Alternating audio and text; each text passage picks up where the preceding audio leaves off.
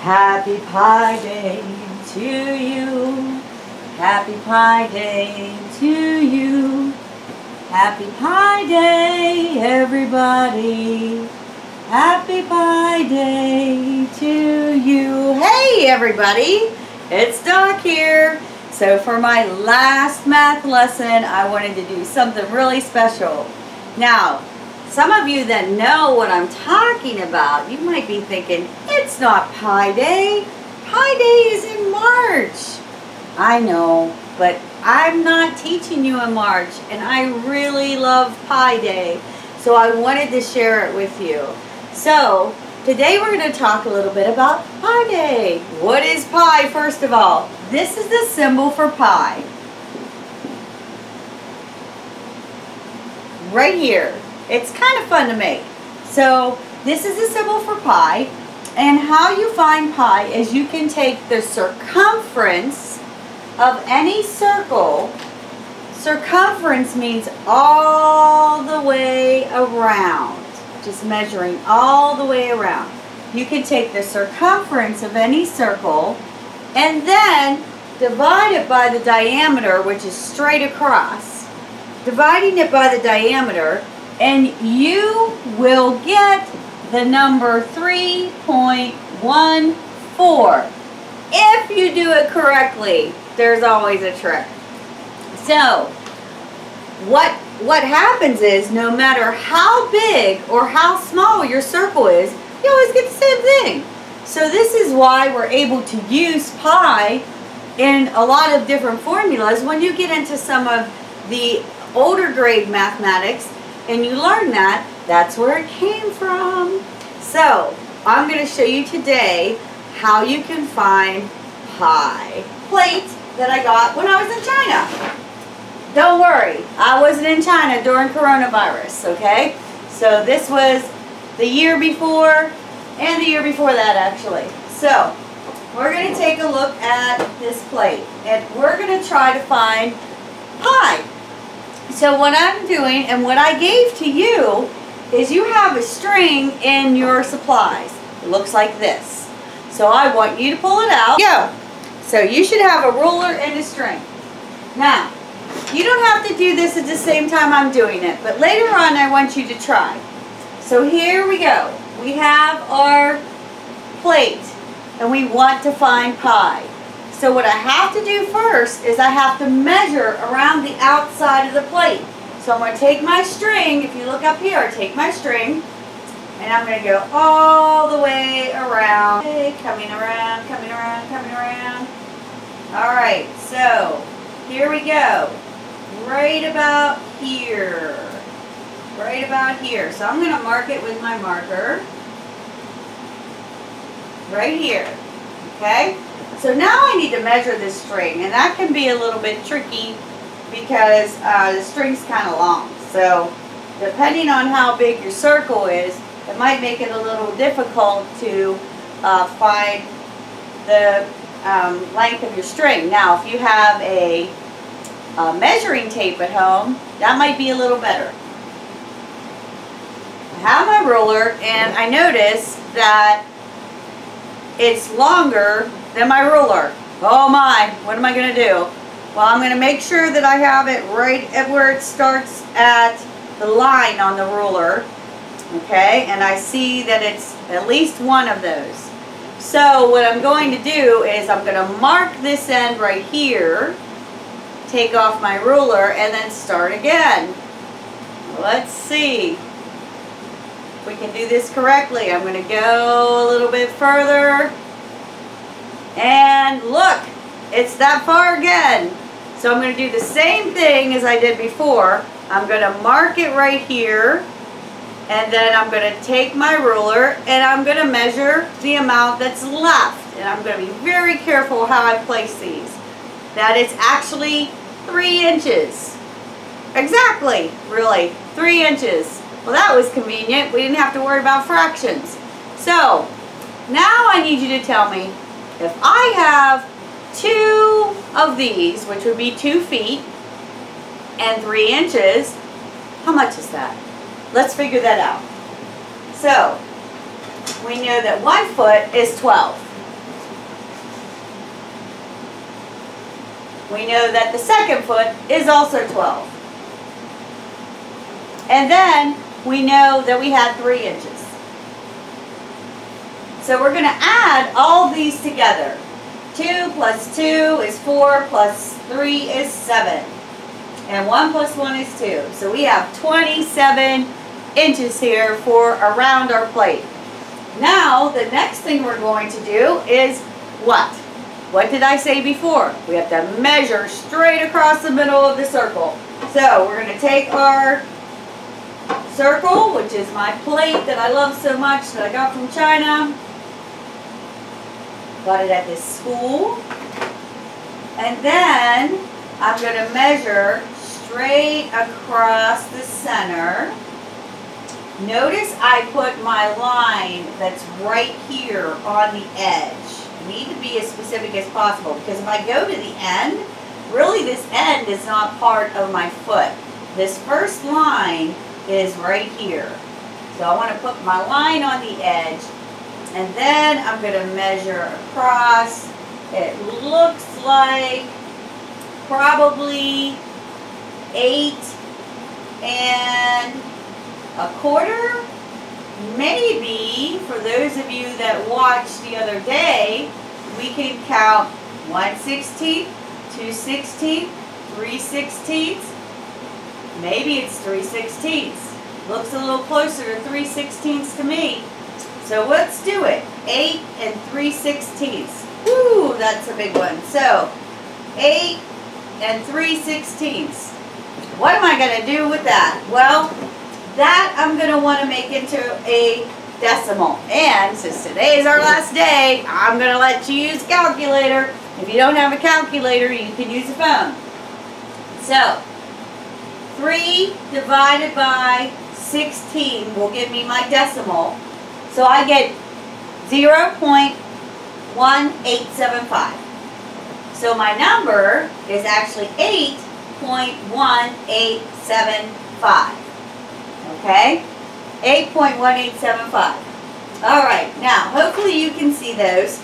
To make it a little bit darker with this marker. Darker with the marker. Rhymes. Okay, so here we go. Now, we're going to find if we're close to pi. Let's see.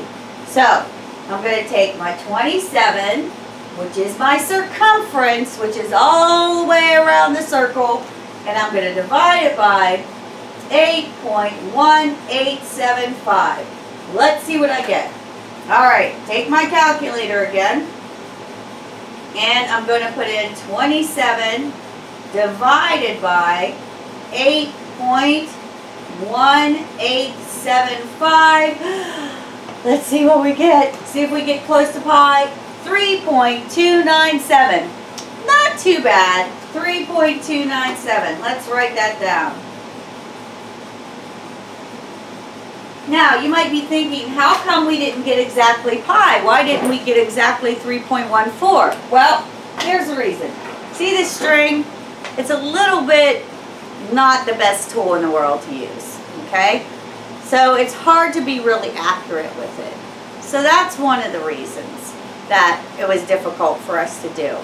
All right, so let's try another thing. I gave all of you a coin that says a kindness coin and I gave this to you because you all have been so great at attending the classes and attending the math classes so I wanted to give you a kindness coin. Now what I want you to do with it after we measure it for pi is I want you to, when somebody's kind to you, you give it to them so you can pass it along. But first, let's see if we can find pi using the kindness coin. Okay, I'm going to turn my paper over and start again. Here I have my coin. I am going to measure all the way around. Hopefully I'll have a little easier time with the smaller one. All the way around. And let's see, try to be as accurate as I can. All right, right here, I'm going to mark it with the marker so that I can measure it. Okay, now let's measure it. Okay, so let's see what we have. Our kindness coin. Remember, you got to be careful that you start at that first line on your ruler because that's really the beginning. Not necessarily at the end of your ruler. Some people get tripped, tripped up with that. So here we have at the very end here. All right. And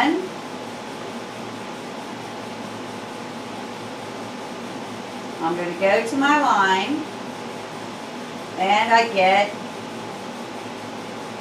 you see right there? It looks like seven eighths. For those of you that did rulers with me, four and seven eighths would be right in the center of that. Seven eighths. This is an eighths mark. So, four and seven eighths.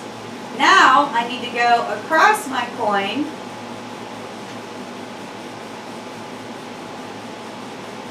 Again, starting at the edge, and I have these smiley faces on here that can help me find the middle of my coin.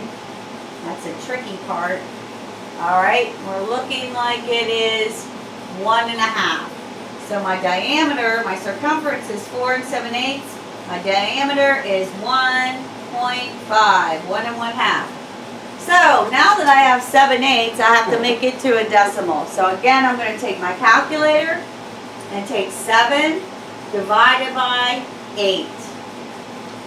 And that is 875. So I have 4.875. Now let's see how close we got to finding pi with our coin. Okay, so I'm going to take my circumference, which is 4.875, and I'm going to divide it by my diameter, which is 1.5. Okay, here's my calculator.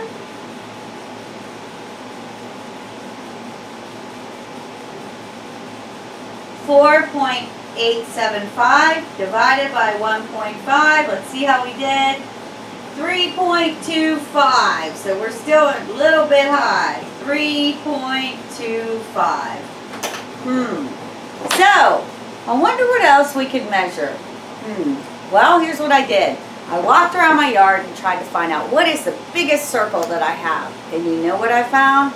My pool.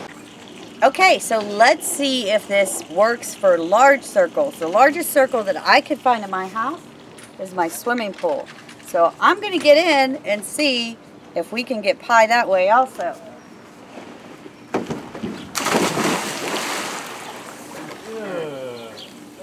Okay, ready? Okay, so.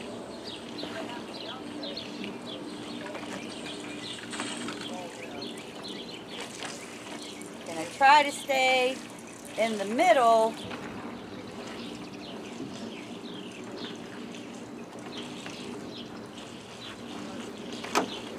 I don't know.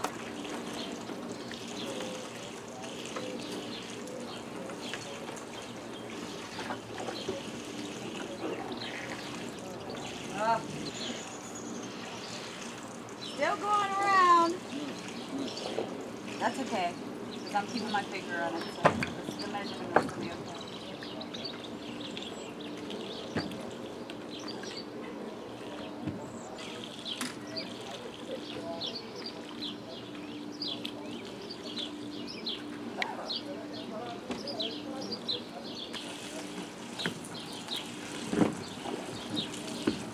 Almost there.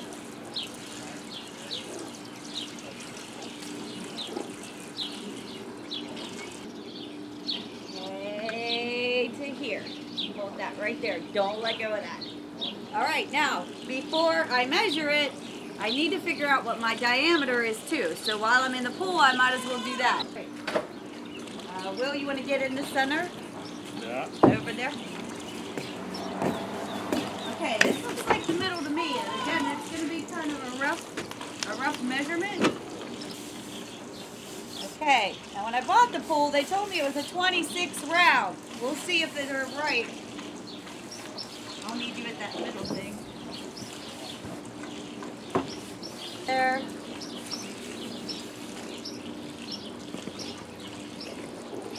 Is this the center? This looks like the center. Yeah.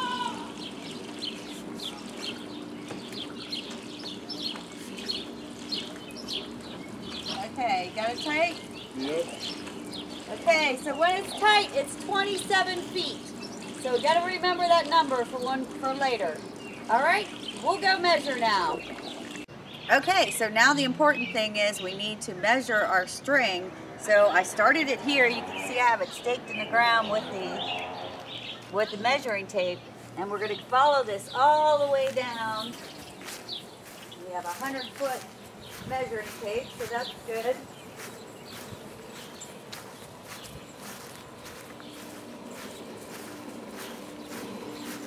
And get down to the edge here. Looks like we're at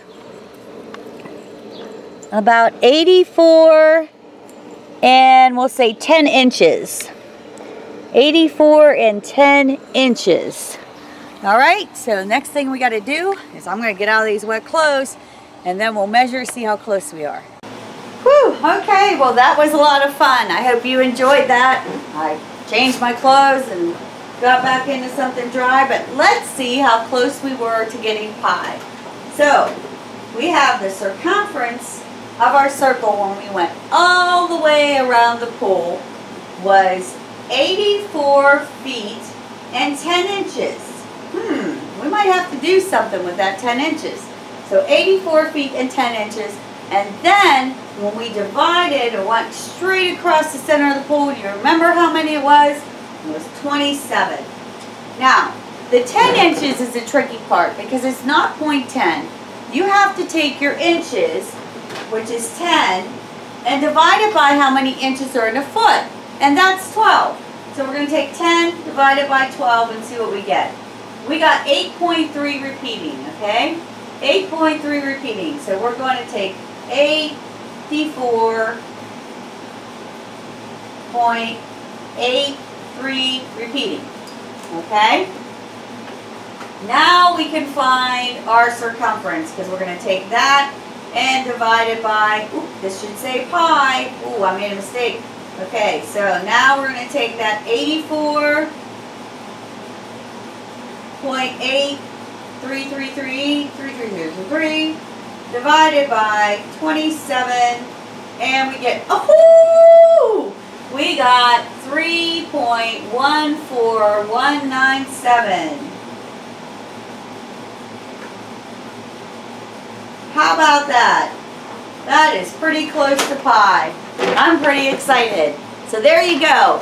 So I want you to go around and find some circles at your house and measure the outside. You can use the string that I gave you or another string and then measure straight across the middle, divide the two, and tell me how close did you get to pi. Well, it was really great seeing you and maybe on Pi Day, which is March 14th because of 3.14, maybe I'll get to see you again and we can sing some Pi Day songs. This is Doc. Peace out.